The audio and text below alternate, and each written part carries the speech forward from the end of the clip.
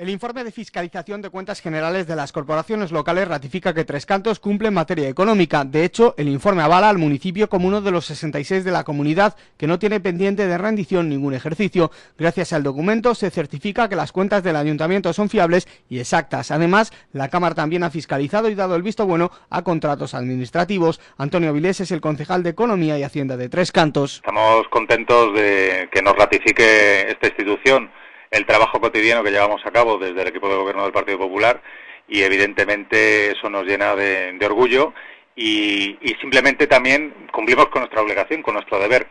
Eh, lamentablemente no todos los municipios lo hacen, pero sí Tres Cantos, así lo ratifica la Cámara de Cuentas y desde luego estamos contentos de colaborar con esta institución, de cumplir con esta institución y desde luego con los resultados que también nos marca esta institución de nuestra gestión económica que creo que es bastante buena y que bueno, seguiremos trabajando para que siga así durante años sucesivos. El informe deja claro ante todo que el consistorio tricantino cumple con sus obligaciones en materia económica.